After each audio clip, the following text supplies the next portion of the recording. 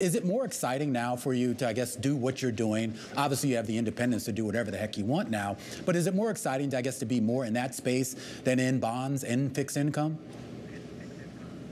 Well, um, yeah, I think it is. Uh, you know, the volatility is higher, but uh, you know, to be fair, I'm, I'm still in uh, the Treasury market with um, puts and calls and options, and um, you know, even if you don't have a bullish outlook on the 10-year Treasury, which I don't, um, you know, you can still make a decent return by uh, you know doing a spread trade, a put and a call spread trade that uh, over a month's period of time can provide a decent return. So, um, yeah, it's more exciting to be in stocks and and and Romaine, um, one of the considerations in the stock market uh, is consistent with what I did at PIMCO. Mm -hmm. um, you know, st stocks are a volatility type of consideration.